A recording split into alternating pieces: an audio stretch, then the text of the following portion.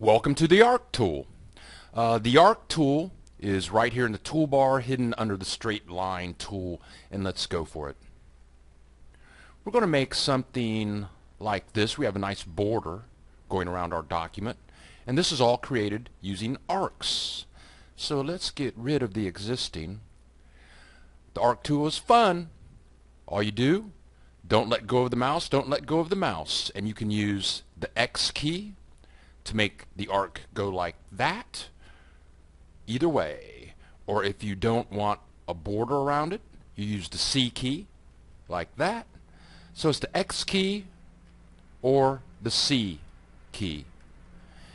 And if you want to get real precise, you can double click the, cool, the tool and set your slope,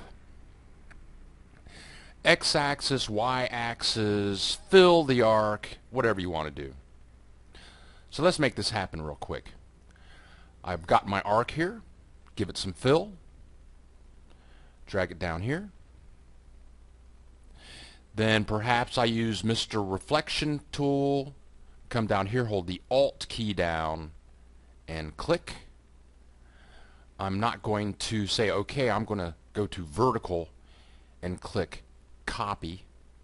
That puts it right over here. Use my right arrow tool then I select both of these guys, use my reflect tool, come up here, alt click.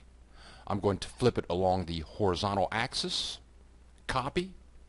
That's a little too high, so I'm going to bring them down with my down arrow key. There you go. That's a brief introduction to the ARC tool.